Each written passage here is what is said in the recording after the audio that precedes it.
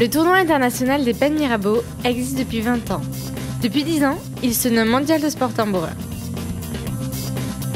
Il rassemble tous les ans des équipes du monde entier réunies autour de la même passion, le sport tambourin.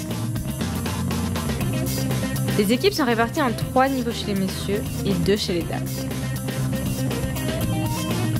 En 2016, cinq nations étaient représentées avec l'Espagne, l'Allemagne, l'Équateur, le Royaume-Uni et l'Italie.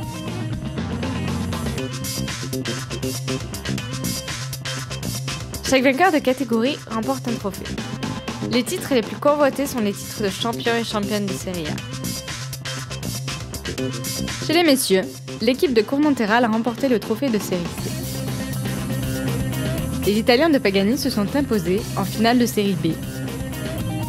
Chez les filles, l'équipe de Poussin a obtenu le trophée de Série A.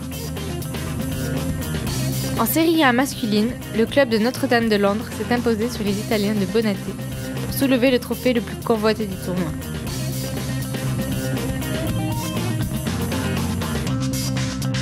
Le rendez-vous est déjà pris pour l'année prochaine avec les passionnés de sport tambourin à travers le monde.